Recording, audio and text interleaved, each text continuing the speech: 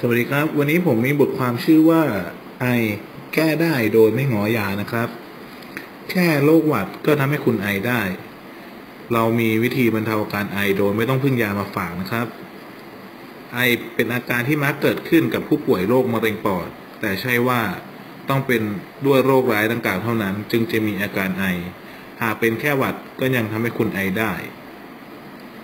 ก่อนอื่นเราควรรู้ว่าไอถูกแบ่งออกเป็นสองประเภทได้แก่ไอฉับพลัน จะมีไอไม่เกินสามสัปดาห์ ส่วนใหญ่มักเกิดจากการติดเชื้อในระบบทางเดินหายใจ เช่น หวัด หลอดลม หรือสูดสิ่งแปลกปลอมเข้าไปในหลอดลม เช่น ควันบุหรี่ แก๊ส หรือสีสเปรย์ ส่วนอีกชนิดเรียกว่าไอเรื้อรัง อาการไอชนิดนี้จะยาวนานกว่า 3 สัปดาห์ขึ้นไป อาจเกิดจากโรคหลอดลมอักเสบเรื้อรัง การใช้ยาความดัน บางชนิดอย่างต่อเนื่อง โรคไซนัสอักเสบเรื้อรังหรือโรควัณโรคเป็นต้น หากเริ่มมีอาการไอ คุณสามารถบรรเทาอาการที่ปฏิบัติตามอาจจะหายขาด หรืออย่างน้อยก็ช่วยลดความทรมานจากการเจ็บปวดทั่วลำคอยาสามัญแสนจะบริสุทธิ์หาง่ายใกล้ตัวคือ น้ำเปล่าไม่เย็นหรืออุ่นๆ แต่ไม่ควรร้อน ให้ดื่มบ่อยๆทำให้ชุ่มคอ